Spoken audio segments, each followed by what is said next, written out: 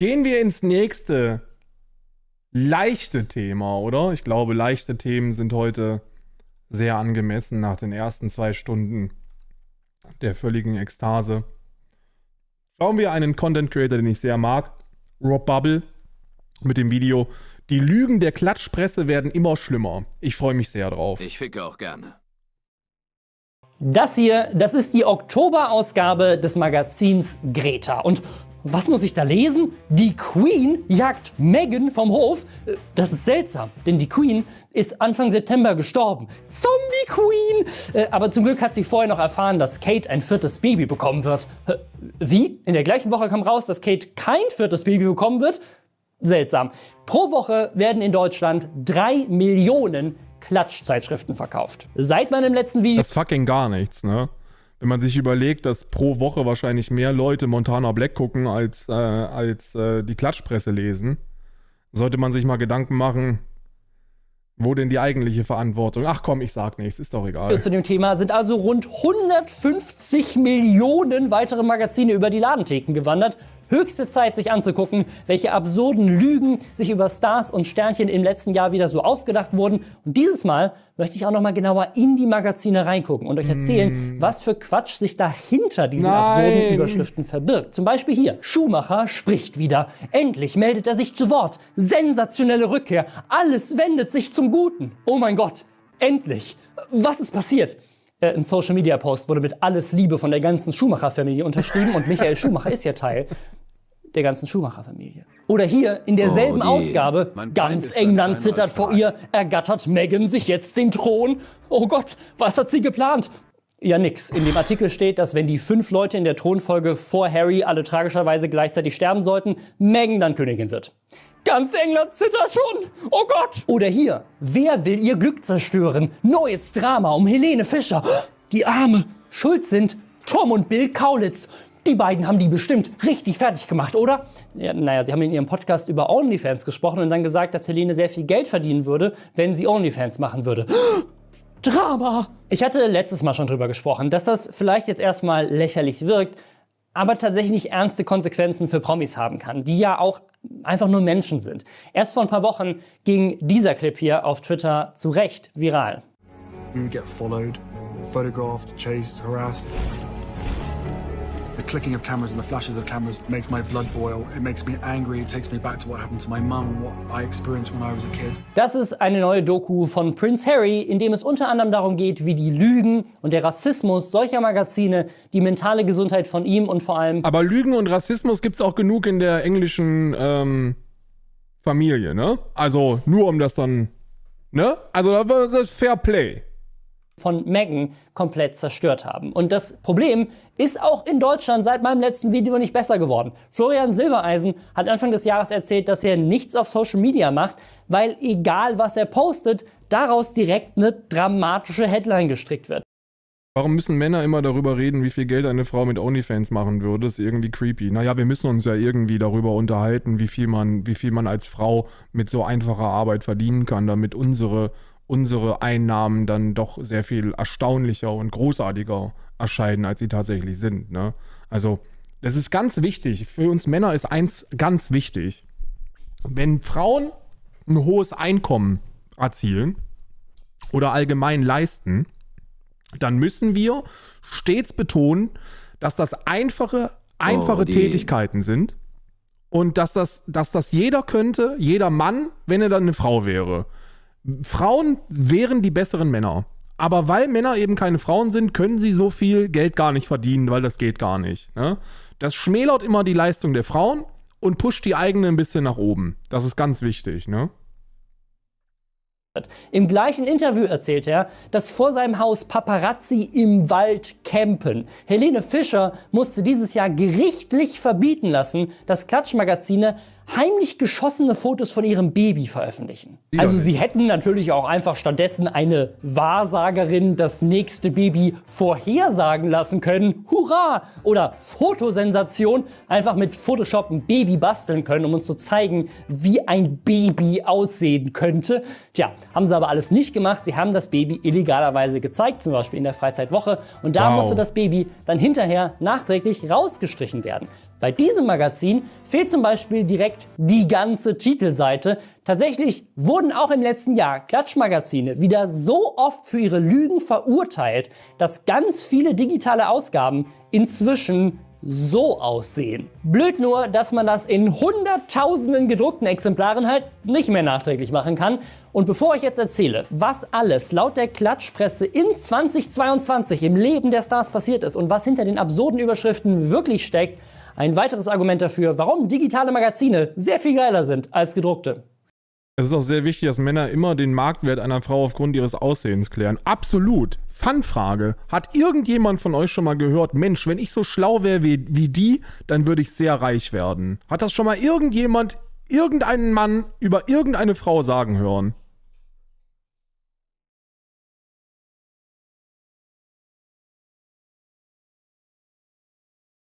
Die einzigen Props, die Frauen für ihre intellektuellen Leistungen bekommen, sind die, wenn sie dazu auch noch gesellschaftlich gesehen gut aussehen. Dann hört man immer, oh Mensch, die ist so schlau und sie sieht so gut aus. Weil das ja nicht zusammenpasst. Entweder man sieht gut aus als Frau oder man hat was im Kopf. Aber beides zusammen, absurd. Kennen Sie das? Sie wollen mal wieder dieses echte, existierende Magazin namens Gartenbahnen lesen, wo Männer auf Gartenbahnen durch die Gegend fahren. Aber die ganze Zeit Magazine im Zug mitzuschleppen ist auch ziemlich blöd. Ich mag Züge. Du stehst auf Steine, willst aber nicht, dass der große Stein, auf dem wir alle leben, abfackelt, weil alle Bäume für 150 Millionen Klatschmagazine gefällt wurden. Lies dein Steinmagazin doch einfach auf dem iPad. Das sind keine Steine, das sind Mineralien. Bei Readly gibt es wirklich jede Art von Magazin, egal zu welchem Thema. Ich persönlich liebe die GameStar oder die Passendes Placement, richtig gut. Das muss man ja auch mal sagen. Passendes und gutes Placement. Nice. M-Games, Kochmagazine oder Magazine wie Photoshop Creative, mit dem ich mir damals selber erstmal Photoshop beigebracht habe, als ich mit YouTube angefangen habe. Es gibt auch Klassiker wie die hier und Hobbymagazine wie die hier, zum Beispiel das Coins-Magazin oder ein Lego-Magazin namens Blocks. Es gibt wirklich über 6000 Hallo, Klemmbausteine heißt das, ja? Viel Zeit muss sein. Magazine und Zeitungen in einem Abo. Lad sie dir einfach runter und lies sie offline. Du kannst bis zu fünf Profile erstellen für die ganze Familie. Und das Besondere, und das hat dieses Video erst überhaupt ermöglicht, mit Readly kann man die ganzen alten Ausgaben auch lesen. Readly lässt sich monatlich kündigen und die ersten beiden Monate gibt es für nur 1,99 Euro unter readly.com slash rockbubble. Ich lese euch jetzt mal einen Absatz aus der aktuellen vor und wie dort über Harry geschrieben wird. War Harry eigentlich schon immer so eine Prinzessin auf der Erbse? Er wirkte doch eigentlich recht zufrieden mit dem goldenen Löffel seiner royalen Geburt. Ja, der Tod seiner Mutter war schlimm, aber insgesamt hätten die Rahmenbedingungen deutlich übler sein können. Okay, der Tod seiner Mutter, das ist was, was den Klatschmagazinen auch 25 Jahre später immer noch gut Geld einbringt. Diana könnte noch leben. Diana, Charles plante ihren Tod. Diana, gruselig, sie ahnte den Tod voraus. Diana, trug sie ein Kind zu Grab. Diana, haben wir uns alle in ihr getäuscht. Diana, es war Mord und es war Camilla. Aber 100 Prozent. Das war beim Tod der Queen jetzt auch ähnlich. Natürlich wird auch der Gemoll kennen, so gut es geht. Top voll Gold, ein genialer Twitter-Account, dem ihr auf jeden Fall folgen solltet. Der hat das Ganze mal zusammengefasst. Bei der Frau im Spiegel war es ein stiller Abschied. Bei der Woche der Frau hat sie verzweifelt gefleht. Bei der Freizeitwoche blieb ihr letzter Wunsch unerfüllt. Bei Das Neue Blatt hat ihn Charles erfüllt. Bei der Inn gab es Versöhnung am Sterbebett. Und bei der neuen Frau gab es Drama am Sterbebett. Dass man nicht so genau weiß, was bei den Royals los ist, das war auch schon vor dem Tod der Queen so. Die neue Was für Menschen arbeiten da? Unmotivierte, die Headlines kreieren. Das, ja. Und dann saugt man sich allen möglichen Scheiß aus den Fingern, Hauptsache es wird gelesen. Ne? Herzlich willkommen. Welt hat sie zum Beispiel schon im März umgebracht. Blitzkrönung, trauriger Abschied von der Queen. Oder die Freizeit Blitz, die wusste im Januar ganz genau, dass Charles niemals König wird. Am aufregendsten war aber natürlich mal wieder das Leben von Harry und Meghan. Und der Januar fing eigentlich erstmal gut an. Ihr Glück war perfekt mit einem Baby. Aber dann Zwillinge. Die schönste Nachricht. Oder war es doch nur ein Baby? Und ist das Baby überhaupt von Harry? Denn Meghan hat ihn ja betrogen. Diese Verwirrung bringt Harry zum Nervenkollaps. Als Strafe nimmt Charles dann Meghan die Titel weg. Blitzscheidung. Und dann auch noch ein Polizeieinsatz in der Luxusvilla. Jetzt muss Meghan ins Gefängnis. Äh, nee, doch nicht. Was war das denn dann für ein Polizeieinsatz? Ach ja, die Villa, die Harry und Meghan gekauft haben, da gab's mal einen Polizeieinsatz vor Jahren, bevor sie da gelebt haben. Dramatischer Januar. Der Februar war dann nicht entspannter. Meghan serviert Harry ab. Es kommt zum Rosenkrieg. Harry wird ihr nie verzeihen. Aber sollte es nicht eigentlich umgekehrt sein? Denn Harry hat ja Meghan mit ihrer Freundin betrogen. Blitzscheidung! er flieht zurück nach England und verklagt seine Oma. Aber die rächt sich sofort. Im März geht's dramatisch weiter. Meghan hat einen neuen. Und in dem Artikel kommt dann raus, dass Meghan schon in zwei Jahren US-Präsidentin werden will. Währenddessen kehrt Harry reumütig nach England zurück und versöhnt sich mit seiner Oma. Gut, denn sein Opa hatte ihn ja gerade vorher enterbt. Doch dann findet er heraus, dass Charles gar nicht sein richtiger Vater ist und als Rache will er dann seine Stiefmutter Camilla vernichten. Und der Monat endet mit einer riesigen Pleite. Denn das weiß die aktuelle, Harry und Meghan müssen Steuern nachzahlen und das kann ja nur eins heißen, dass sie pleite sind. Im April passiert dann etwas Verrücktes. Es gibt keine Blitzscheidung, sondern Blitzbesuch. Oma, verzeih mir, denn ich verklage dich. Doch Schock, Meghan ist schwanger, doch es ist von einem Liebhaber. Das weiß die neue Post ganz genau, denn ein Augenzeuge hat seiner Frau davon erzählt, die dann ihrer Nachbarin und die dann ihrer Friseurin. Dann macht Meghan Schluss und nimmt Harry die Kinder weg. Doch das hält nicht lange, denn schon im Mai wird die Queen von den beiden wieder um Geld angebettelt. Die beiden sind total am Ende. Doch dann kickt dieses Mal Harry Meghan raus. Es gibt nämlich Babydrama um ihn und dann taucht auch noch eine Scheidungsakte auf und ihr wisst, was das um heißt. Blitzscheidung, Blitzscheidung, Blitzscheidung. und dann hat Meghan im Juni natürlich einen neuen Bodyguard. Also wenn man den Artikel liest, dann kommt raus, sie hat einen neuen Bodyguard. Aber auch einen heimlichen Ehemann. So treibt sie Harry in den Ruin. Charles nimmt ihr dafür die Titel weg, doch dann bereuen sie alles. Aber wirklich nur ganz kurz, denn im Juli heißt es mal wieder Blitzscheidung. Meghan kämpft trotzdem um die Krone und Harry findet heraus, dass er eine Erbkrankheit hat. Der Arme. Denn im August wird klar, Meghan betrügt ihn seit sechs Jahren. Und zwar mit seinem Bruder. Aber Harry ist auch nicht unschuldig. Es gibt einen Skandal mit einer Stripperin. Er ist völlig außer Kontrolle. Da haben alle große Angst um die Kinder. Und ihr wisst, was das heißt. Blitzscheidung! Im September fanden die beiden dann in der Trauer um die Queen wieder zueinander und machten ein drittes Baby. Das ist allerdings gleichzeitig ein bisschen fragwürdig, denn Meghan hält sich eigentlich für Harrys Mutter. Gleichzeitig trauert sie auch gar nicht wirklich um die Queen, sondern nutzt die Gelegenheit, um mit ihrem Schwiegervater rumzufummeln. Das ist aber auch irgendwie okay, denn der ist gar nicht der Schwiegervater, denn Harrys Vater ist jemand anderes. Wer genau das ist, wissen wir aber nicht, denn im Oktober standen schon wieder zwei andere Väter zur Auswahl. Harry macht diese Info schwer krank und Meghan nutzt die Chance, ihren Mann ins Gefängnis zu schicken, während sie sich gleichzeitig mit dem Fluch rumschlagen muss, der auf ihrer Villa liegt. Und natürlich gibt es nur einen Ausweg aus dieser Situation, Leute. Es ist eine Blitzscheidung!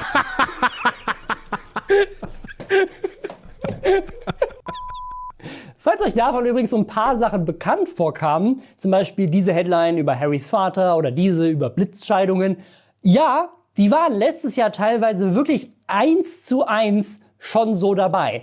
Und eine Sache ist mir dieses Jahr auch noch aufgefallen, wie oft Helene Fischer und Florian Silbereisen zusammen sind auf Titelseiten oder auch laut Titelseiten miteinander. Die sind aber seit vier Jahren getrennt. Aber hier zum Beispiel im Januar Florian Silbereisens neues Glück und was Helene damit zu tun hat. Und ich habe reingelesen, das ist der Satz, um den es da geht. Ich wollte unbedingt, dass Bülent Ceylan mal aufs Traumschiff kommt, aber leider hatte ich seine Telefonnummer nicht. Helene hatte sie glücklicherweise. Sein neues Glück und Helene hatte was damit zu tun. Oder hier, so glücklich bei Flori. Das Ding ist, das Bild ist aus 2019 und die Story ist, dass Florian Silbereisen inzwischen in Österreich lebt und Helene Fischer einen Auftritt hatte in dem Land Österreich. In jedem Monat gibt es solche Headlines. Zurück zu Florian. Heimliches Herzklopfen. Das Glück ist zurück. Helenes Unglück zerreißt ihm das Herz, holt seine Liebe sie aus dem Tal der Tränen. Und das zeigt echt nochmal, wie skrupellos diese Magazine sind. Die sind sich für nichts zu schade. Denn bei dieser Headline geht es darum, dass Helene Fischer Sympathie mit Menschen in der Ukraine gezeigt hat, als der Krieg angefangen hat. Und das Einzige, woran die denken, ist ja, jetzt hat sie geweint, jetzt rennt sie bestimmt zurück zu Florian. Hä? Stellt euch mal vor, Jahre nach eurer letzten Trennung seht ihr an jeder Supermarktkasse immer ein Foto oder mehrere von euch und eurer Ex. Oder noch geschmackloser, von eurem schwer verunglückten Mann und Vater. Michael Schumacher, neue Hoffnung. Wird er doch wieder ganz gesund? Die Familie hier glaubt jedenfalls fest daran. Anders ist es nicht zu erklären, Wow. warum Corinna ein Grundstück auf Mallorca gekauft hat. Michael Schumacher. Endlich sehen wir ihn wieder. Er ist wieder aufgetaucht. Er strahlt an Corinnas Seite. Oh Gott, was ist geschehen? Ja, seine Frau veranstaltet seit zwei Jahren nach der Corona-Pandemie jetzt wieder ein jährliches Reitturnier. Und wenn, und das ist kein Witz, man von der Ankündigung von dem Reitturnier auf der Website auf das Fotoreiter klickt und dann runterscrollt zu 2012, das ist ein Jahr vor dem Unfall von Michael Schumacher, dann strahlt er in diesen Fotos an ihrer Seite. Wow. Klatschmagazine machen wirklich aus absolut nichts eine Titelstory. Und ich glaube, wenn man jetzt verstanden hat, wie absurd die aus solchen Fitzeln irgendwas Krasses konstruieren, dann versteht man, warum Florian Silbereisen einfach nicht mehr auf Social Media posten möchte. Aber haben die sich jetzt geschieden oder nicht, ist meine Frage. Das ist meine Frage jetzt. Oder nicht? Ich habe großes Mitleid mit dir, Rob. Das ist wirklich, Odin. Dass du dir das reinziehen musst. Liebe Rob Bubble Videos. Großartig. Raise me up so I can stand on mountains.